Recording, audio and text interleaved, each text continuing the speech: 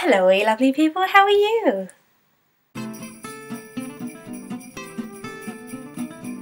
This week's video is on exercising. It's hard keeping up with exercising and keeping fit.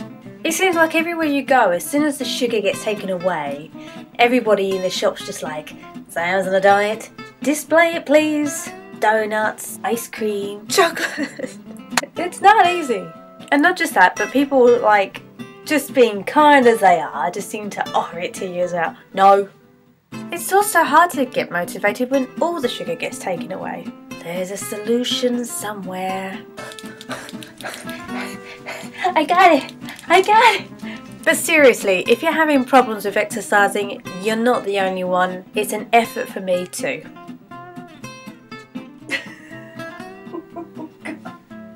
ah, not impossible. I'm just right here.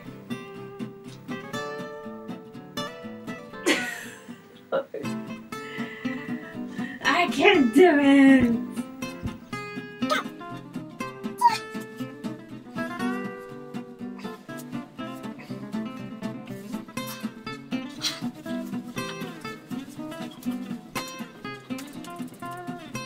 Coming by. Go by. Don't look up here. Don't look up here. No. I find it better to do it indoors than out, mainly because I probably look like a fool when running.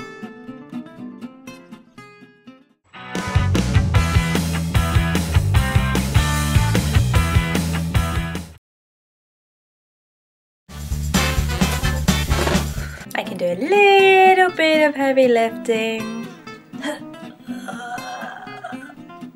Uh, uh, oh god. You can do it, Sam. You can do it, Sam.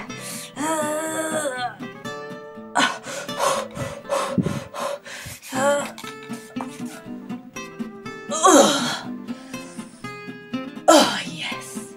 If you can't do the usual things like running and weightlifting and whatever else you want to do, there's always yoga. But then your mind tends to drift because it could be bored and then other things get in there. Am I the only one? Um,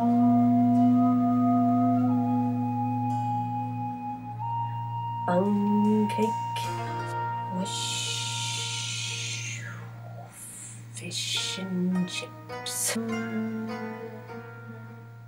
upside down pineapple cake, no rice. And then you get all these other self-help books that say something along the lines of um, visualize what you want, then pretend that you've already eaten it.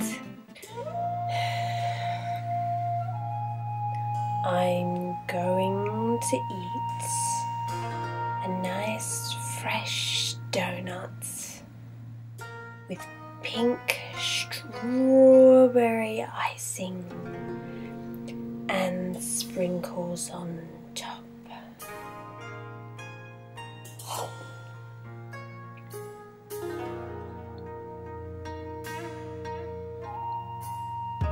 Mm.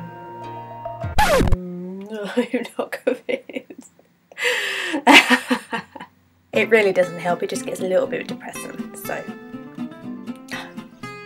so there's my views on exercising and keeping fit. it's a bit difficult. Nobody said it was going to be easy. If you want a fit bod like this, you gotta work for it. Just have complete focus. What's this? Am I choo choo train? Apparently. Just before we go though, just thought I'd update you with the Home Alone house. I've actually finished it now, which is great. Have a look. So, the last time that you saw it, it had no roof, and I've added that to it this time. And uh, to make things a bit more easier, I've added a handle, so it can be uh, easily like taken into places or taken anywhere from around the room, and just take that off separately. And this is now the inside. I just covered it with all this nice sort of paper to make it look like wallpaper and stuff, and uh, opening the door you see the stairs. It actually has stairs. I think I might put Home Alone on his little sleigh right there and just put him down there. But there's a nice wallpaper to make it all nice and Christmassy. Let's actually go up the stairs. Come on. Uh, uh, use your imagination, people. This is fun. Go up the stairs and then you're right. It could. We're gonna make like a few doors to make like that it could expand onto something. Although it's just the outside. Hello, there I am. And then you've got the other side, and I thought we could put a nice Christmas tree there. You know, just make it all nice and festive. But, you know, just uh, uh, getting back to the roof part, I actually ran out of cardboard. so that's why it looks a bit odd. But I'm going to try and cover that up a bit more just to make it a bit more uh, professional looking, I suppose. And I'm so looking forward to painting this. I just hope my cousin is too. It's going to be so much fun. We're going to add furniture and lamps and just everything. Everything, maybe even like booby traps like they actually had in a Home Alone house. It's just going to be really, really, really, really, really fun. And I can't wait to show the process, so it's going to be good.